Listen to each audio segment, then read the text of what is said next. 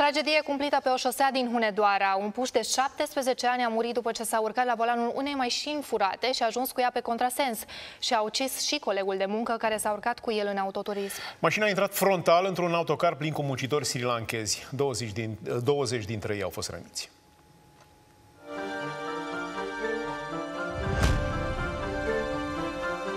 Ora 10 seara, deși nu avea permis, tânărul de 17 ani a furat cheile mașinii unei rude și a pornit la drum alături de un coleg de muncă. Lipsa de experiență s-a văzut însă imediat. În satul Băcia din Hunedoara, adolescentul n-a mai putut controla mașina și a ajuns pe contrasens. Un autocar plin cu muncitori străini care se întorceau de la serviciu nu a putut să le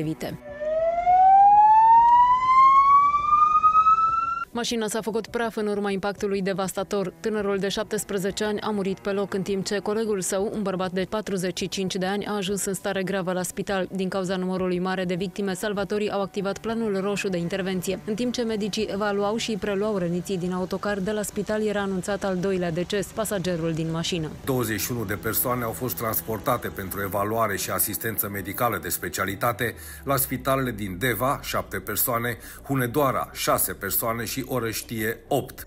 În acest caz, polițiștii continuă cercetările sub aspectul comiterii infracțiunilor de vătămare corporală din culpă, ucidere din culpă și conducerea pe drumurile publice a unui autovehicul fără a poseda permis de conducere. Un proiect de lege care prevede sancțiuni mai severe pentru șoferii fără permis, dar și pentru cei care le permit acestora să conducă, a fost depus în Senat.